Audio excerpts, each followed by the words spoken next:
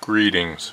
If you spend any time at all reading Islamic attacks against the Bible, you will without doubt hear the soundbite God has sons by the tons.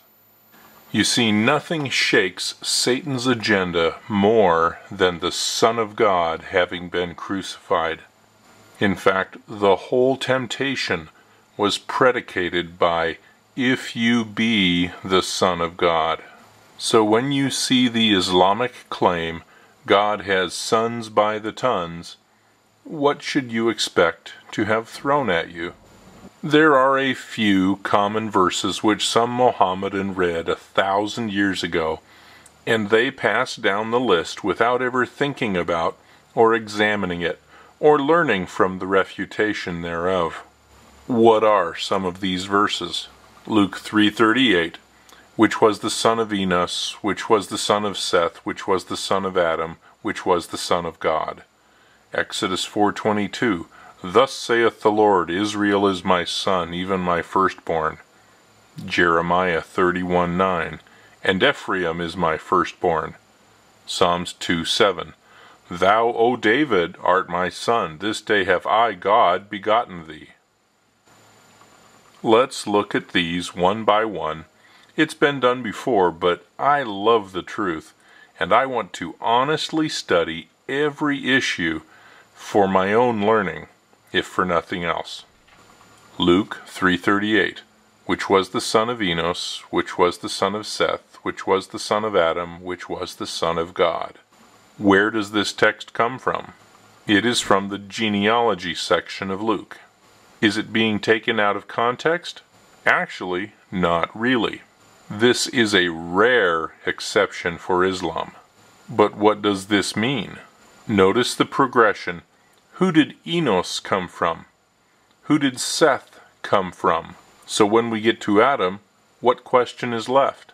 Where did Adam come from? Clearly, Adam came from God. Adam was created by God. Adam had no earthly father, did he? No, he did not. But notice what this verse does not say. It does not say Adam was the begotten Son of God because who did God beget Adam with? The clear understanding of this verse is that Adam was created by God and not a begotten son of God. The use of the term son of God is a convenient language structure.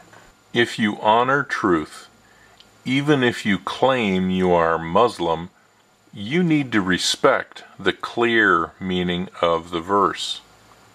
Exodus 4:22 Thus saith the Lord, Israel is my son, even my firstborn.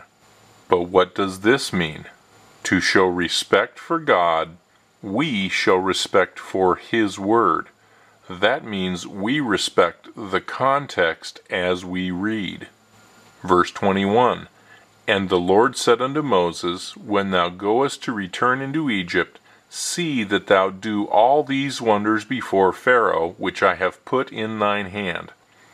But I will harden his heart, that he shall not let the people go. And thou shalt say unto Pharaoh, Thus saith the Lord, Israel is my son, even my firstborn. And I say unto thee, Let my son go, that he may serve me. And if thou refuse to let him go, behold, I will slay thy son, even thy firstborn. So, what is the context here?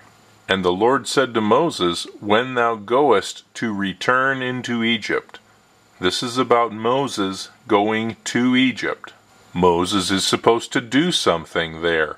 And thou shalt say unto Pharaoh, so Moses was being sent to say something to Pharaoh. Thus saith the Lord, Israel is my son, even my firstborn. So who is God talking about here? Is God saying Israel is a single person? That's nonsense. That's stupid. No, it's talking about Israel, the nation of Israel. And I say unto thee, Let my son go. Notice he uses the word son here, talking about a whole nation, the nation that has been enslaved by Egypt. Let my son go that he may serve me. Here again, God is treating the whole nation of Israel metaphorically as if he were a person, a son, someone God has a relationship with who is near and dear to his heart. And if thou refuse to let him go, behold, I will slay thy son, even thy firstborn. Notice God is talking about the whole nation of Israel here. God is not talking about one person named Israel and calling that one person his begotten son. It is simply not used that way. And how long did it take us to read the context and prove the Islamic reading of this verse is pure horse manure? About 30 seconds, maybe a minute. If you call yourself Muslim, why do you not respect God enough to spend 30 seconds seeking the truth? God is not saying Israel is my begotten son. That's two out of two verses that Islam lies about in an ignorant attack against God and His Word. Jeremiah 31 9. And Ephraim is my firstborn. So, what is the context?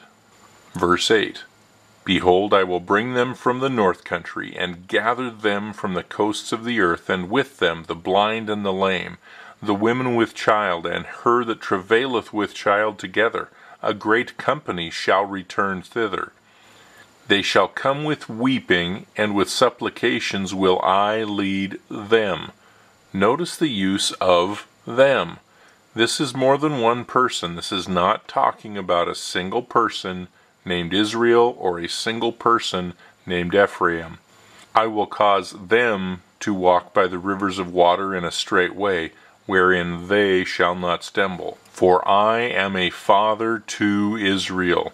This means to the nation of Israel. And Ephraim is my firstborn. Notice God is again talking about the whole nation of Israel here.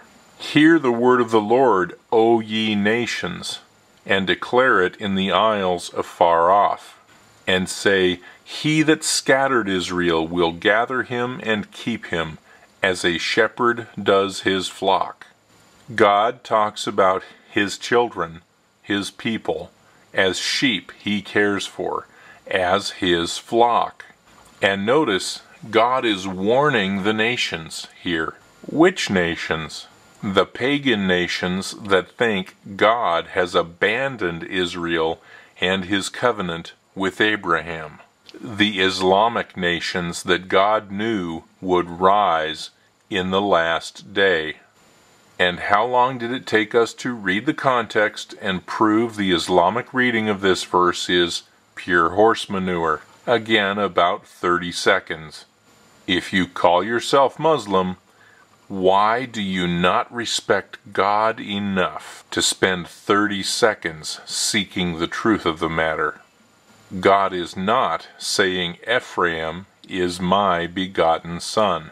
That's three out of three verses Islam has ignorantly tried to use as an attack against God and His Word. And it's three out of three that we refuted within 30 seconds or a minute of just looking up the verse, look at the context, understand easily what it means, and see that Islam and the people in Islam who put forth this kind of stupidity act as if, you know, they don't care about truth. They have no regard for truth, knowledge, or understanding that should be a big red flag for anybody who's questioning whether Islam is a good thing or not. Psalm 2:7. Thou, O David, art my son, this day I, God, have begotten thee. And with this fourth verse, we see a plethora of the errors which Islam makes when it tries to attack God and attack the Word of God. Number one, Islam changes the text of the Word of God. The text does not say, O David. This is Islam adding to God's word to change the meaning. Number two, Islam rapes the context of the Word of God. This shows a complete lack of respect for Almighty God, for Prophet David, and for Prophet David's message. Because Islam rapes the context, it has no idea who this verse talks about. You can watch my full video about this one verse and how it causes problems for Islam. So let us take one brief moment and read the full verse in context. I will declare the decree the Lord hath said unto me, Thou art my son, this day have I begotten thee. Ask of me, and I shall give thee the heathen for thine inheritance, and the uttermost parts of the earth for thy possession. Remember, this is the decree that the Lord told David to declare. Thou shalt break them with a rod of iron, thou shalt dash them in pieces like a potter's vessel. Be wise now, therefore, O ye kings, be instructed, you judges of the earth. Serve the Lord with fear, and rejoice with trembling. Kiss the Son, lest he be angry, and you perish from the way, when his wrath is kindled but a little. Blessed are all they that put their trust in him, in the Son, in the begotten Son of God. No, my friends, Psalm 2 is a prophetic psalm and speaks of Jesus, the begotten Son of God. I want to emphasize that word, begotten. Jesus is the only begotten Son of God. There are others who are referred to metaphorically as sons of God. And now that we have a covenant with God, we are adopted sons of God. But only one Son of God, Jesus Christ, is begotten by God. That's four out of four verses that Islam ignorantly tries to use as an attack against God and His Word and four out of four that we easily refuted by simple examination. Islam tries to mockingly claim God has sons by the tons.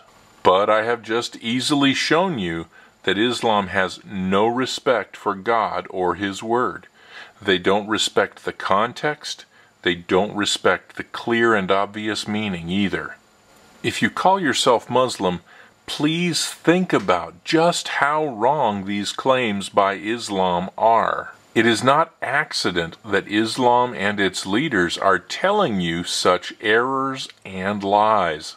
You are probably sincere in your desire to submit to God, but you are following Muhammad's religion, Islam, and it is leading you away from Almighty God.